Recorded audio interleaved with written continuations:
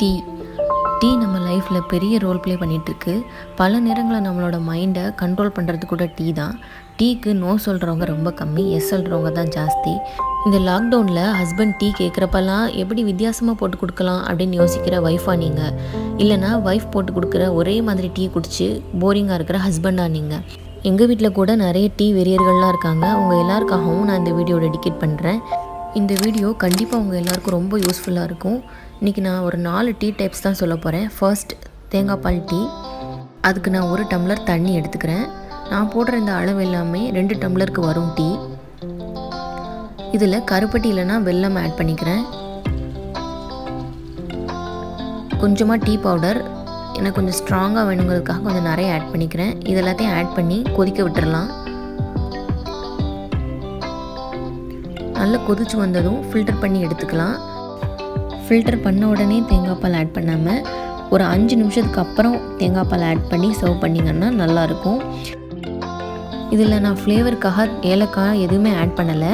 ஏன்னா அந்த தேங்காய் பாலே ஒரு நல்ல ஒரு ஃப்ளேவர் கொடுக்கும் நல்ல டேஸ்ட்டாக இருக்கும். டீ குடிக்கும்போதே இனி பால் இல்லைன்னு கவலைப்படாமல் இந்த மாதிரி தேங்காய் பாலில் டீ போட்டு என்ஜாய் பண்ணுங்கள் அடுத்து நம்பர் டூ வயநாடன் வெள்ளை காப்பி இந்த டீயை நாங்கள் ஒரு ரெஸ்டாரண்ட்டில் தான் ட்ரை பண்ணோம்.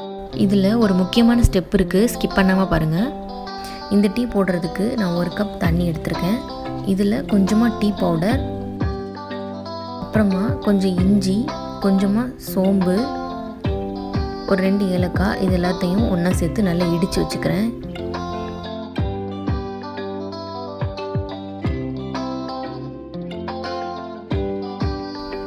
இதையும் அதோட ஆட் பண்ணி எடுத்துக்கிறேன். கொஞ்சமாக வெல்லம் இல்லைன்னா கருப்பட்டி எடுத்துக்கிறேன்.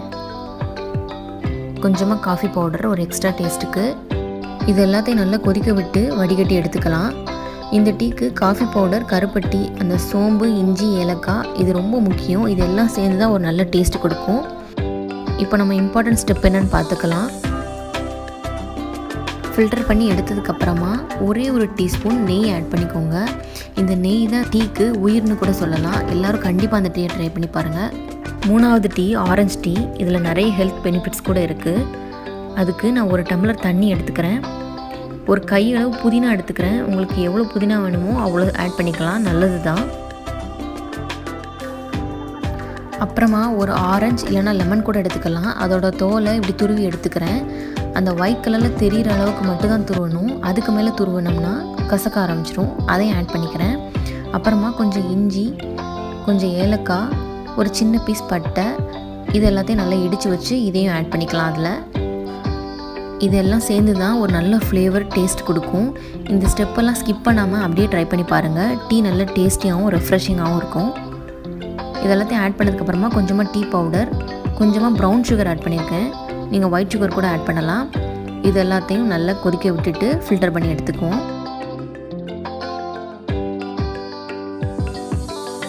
அவ்வளோதான் ஆரஞ்சு டீ ரெடி ஆயிடுச்சு. இதில் நிறைய ஹெல்த் பெனிஃபிட்ஸ்லாம் இருக்குது இதை டெய்லி எடுத்துட்டோம் அப்படின்னா வெயிட் லாஸ்க்கு நல்ல ஹெல்ப்ஃபுல்லாக இருக்கும். ஃபேஸ் கூட நல்ல க்ளோயிங்காக இருக்கும். ஏன்னா இதில் விட்டமின் சி ஜாஸ்தி இருக்கிறதுனால இதை டெய்லி கூட எடுத்துக்கலாம். லாஸ்ட் பட் நாட் லீஸ்ட்டுங்கிற மாதிரி ஒரு மேஜிக் பிங்க் டீ தான் நம்ம பார்க்க போகிறோம் பிங்க் கலரில் டீயான்னு யோசிப்பீங்க. நிஜமாகவே இது பிங்க் கலர் டீ தான். ஒரு மேஜிக் நடக்க போது ஸ்கிப் பண்ணாமல் பாருங்கள் அதுக்கு நான் ஒரு டம்ளர் தண்ணி எடுத்திருக்கேன். ஒரு டேபிள் ஸ்பூன் க்ரீன் டீ எடுத்திருக்கேன். ஒரே ஒரு பிஞ்ச் சால்ட் எடுத்திருக்கேன். ஒரு பிஞ்ச் பேக்கிங் சோடா எடுத்திருக்கேன். பேக்கிங் பவுடர் கிடையாது. பேக்கிங் சோடா ஒரு ஃப்ளேவருக்காக ரெண்டு ஏலக்காவை இடித்து இது எல்லாத்தையும் ஒன்றா சேர்த்து பாயில் பண்ணிக்கிறேன். நல்ல கொதிக்க விடணும். இது நார்மல் டீ மாதிரி கிடையாது. ஒரு டம்ளர் தண்ணி பாதி அளவு ஆகிற அளவுக்கு கொதிக்க விடணும்.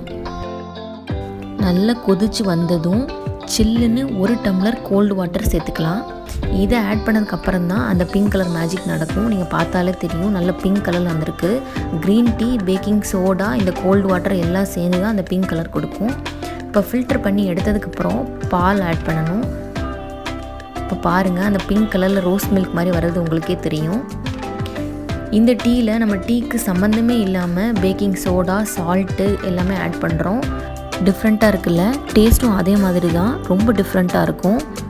நான் சொன்ன அந்த நாலு டீயுமே ரொம்ப டிஃப்ரெண்ட்டாக இருக்கும்னு நம்புகிறேன் நாலு நாளைக்குமே இந்த டீயை ட்ரை பண்ணி பார்த்துட்டு உங்களோட ஃபீட்பேக்கை எங்களோட ஷேர் பண்ணுங்கள் மீண்டும் சந்திப்போம்.